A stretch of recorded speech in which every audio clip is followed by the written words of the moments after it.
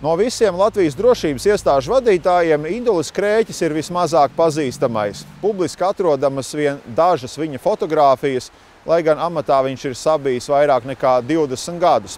Un šonadēļ ministru kabinets nolēma viņu apstiprināt amatā vēl uz pieciem gadiem. Militārais izlūkošanas un drošības dienests ir viena no trijām Latvijas drošības iestādēm. Atbilstoši nosaukumam, dienests nodarbojas ar izlūkošanu, tajā skaitā signālu izlūkošanu, ar pretizlūkošanu, tātad strādā pret spiegošanu un diversijām, kā arī atbild par valsts noslēpumu aizsardzību aizsardzības ministrijas struktūrās. Kopš 2002. gada militāro izlūkdienestu vada Krēķis, un visu šo laiku gan viņš pats, gan dienests spējas izvairīties no pastiprinātas mediju uzmanības. Ministru kabinets sēdē pirms pārapstiprināšanas amatā Krēķis neslēpa savu nostāju, ka liela publicitāte traucē. Tomēr viņš esot vienojies ar aizsardzības ministru Andriu Sprūdu atrast kompromisu, kā turpmāk vairāk stāstīt sabiedrībai par dienestu paveikto. Jā, es tiešām esmu jau krietni laiku savā amatā. Un es varētu teikt, ka man ir vēl palikuši neizdarītie darbi. Un ir tādas lietas, ko pašreizējā politiskā situācija, ģeopolitiskā situācija varbūt lika man pārdomāt un, un piekrist piedāvājumam vadīt dienestu vēl turpmāko termiņu. Ministrs Sprūts pauž, ka Krēķis bijusi viņa pirmā izvēle. Ņemot vērā karu Ukrainā un agresoru valstis Latvijai kaimiņos, ministrs vēlas nodrošināt dienesta darbu turpinājumu esošajā kvalitātē. Mēs varam dažādi vērtēt gadu ilgumu, bet tas, kas ir svarīgi, ir tiešām svarīgi konkrēti vadītāji, kompetence, profesionālisms par to, kā attīstās arī konkrētā institūcija. Un noteikti gan par Krēķa kunga profesionālismu kompetencijām šeit pilnīgi nav nekādu šaubu.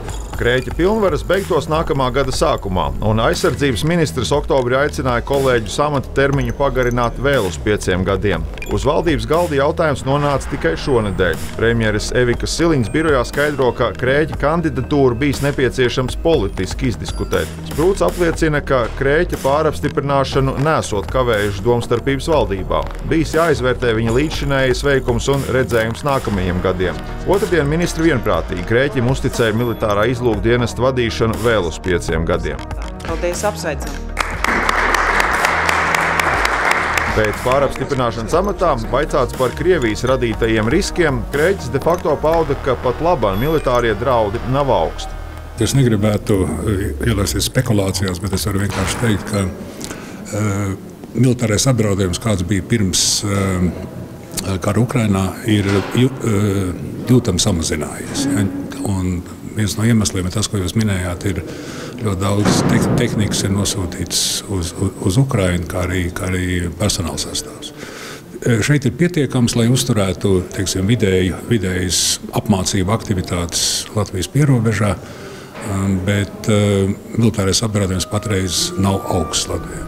Tomēr pēdējos mēnešos Ukrainai nespējot gūt straujus panākumus kaujas laukā, arvien vairāk no dažādām amatpersonām un ekspertiem dzirdamas aplēses, cik ilgu laiku Krievijai vajadzēs, lai sagatavotos konfliktam ar NATO. Šoruden pieņemtajā Latvijas aizsardzības koncepcijā lēsts, ka pierobežā izvietoto Krievijas bruņoto spēku atkopšanās pirmskara apmēros varētu notikt jau tuvāko piecu gadu laikā. Polijas Nacionālā drošības dienesta vadītājs pirms nedēļas prognozēja, ka NATO austrumu spārnu valstīm ir tikai trīs gadi, lai sagatavotos Krievijas uzbrukumam. Tas ir pagaidām teorētisks, analītisks teiksim, no spriedumi, ņemot vērā visu, visu informāciju, kas ir rīcībā, ņemot vērā Krievijas um, ekonomikas attīstību, neskatoties, es domāju, militārās ekonomikas attīstību, militārās ražošanas attīstību, kas ir pieaugusi. Ja. Katrā gadījumā, ja konflikts Ukrainā tiktu iesaldēts, Krievijai būtu laika un resursi sagatavoties iespējamam konfliktam ar kādu citu valsti, tā izskaitā ar NATO, kas, protams, pagaidām liekas neticami. Bet mums ir jābūt gataviem visam. Aizsardzības ministrs gan aicina lieki nesatraukties par vienu otru skaitli, kas tiek publiski minēts. Šeit es neredzu pamata nekādām tādām pārlieku lielām bažām vai bailēm, ja respektīvi kāds izsaka kādu izteikumu. Tā kā šeit ir vispirms mūsu pašu mājas darbi, ko mēs arī veicam, mūsu mājas darbu spēju stiprināšana kopā ar sabiedrotajiem.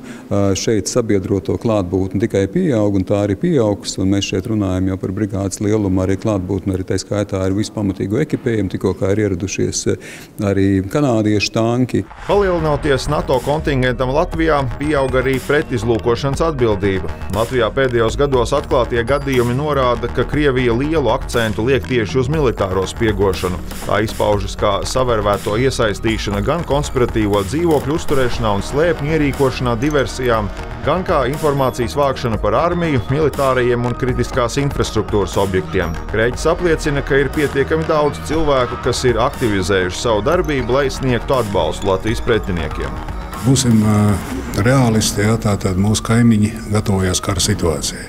Lai gatavotos kara situācijai, plānot hibrīda operācijas, militārās operācijas, jeb kādas operācijas, tiek vākta pilnīgi visa informācija. Un pat liekas, ka viena fotografija, kas nav nekas nozīmīgs, teiksim, nofotografēt tiltu, ir mūsu pretiniekiem ļoti noderīga. Apkopojot, analizējot šo informāciju, tātad viņi iegūst pilnu priekšstatu par Latvijas infrastruktūru, par šo objektu aizsargātību Tāpēc eh, arī šādas it kā varbūt.